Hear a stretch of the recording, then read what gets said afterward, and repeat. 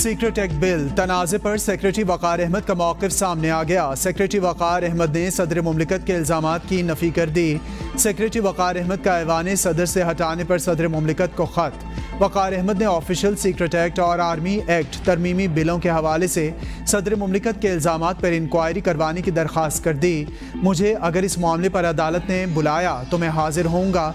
वकार अहमद का कहना है, सदर ममलिकत के ऑफ़िस से सेक्रेटरी ऑफ़िस बिल्स आए ही नहीं। बिलों की सदर ममलिकत ने तोसीक की, ना ही मुस्तरद किए रिकॉर्ड के साथ हर तहकीकती इदारे की इंक्वायरी और अदालत में पेश होने के लिए तैयार हूँ।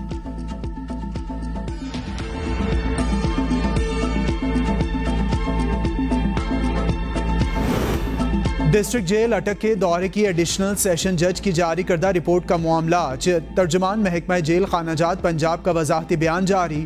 जेल में चेयरमैन पीटीआई को प्रिजनर्स रूल्स 1978 के तहत तमाम स्तर सहूलियात फराहम की गई। हफ़्ते को उनके कमरे में वेस्टर्न कमोड और वॉशन बेसन लगाया गया। वॉश रूम तामीर किया गया। वॉशरूम में bath soap perfume air freshener तौलिया और टिशू पेपर भी मौजूद। मंगल को फैमिली और जमेरात को वकला से कानून के मुताबिक मुलाकात कराई जाती है। चेयरमैन पी टी आई को तबी सहूलियात की फराहमी के लिए पाँच डॉक्टर्स तैनात।